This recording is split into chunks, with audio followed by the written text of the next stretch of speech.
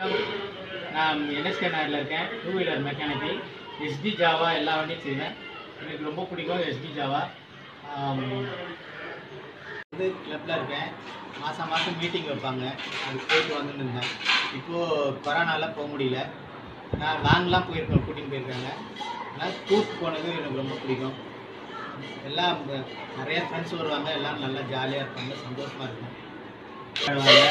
நாங்கள் எல்லாரும் போயிட்டு நல்லா ஜாலியாக இருக்கும் எல்லாம் வண்டியெல்லாம் வச்சு நிறையா வண்டிங்க வரும் பார்ப்போம். சந்தோஷமாக இருக்கும். இந்த வருஷம் கொண்டாட முடியல. அதான் கொஞ்சம் மனசு வருத்தம். கொரோனாவில் முடியாது போயிடுச்சு. ஒரு வாட்டி ஜாவா டே கொண்டாடுவாங்க.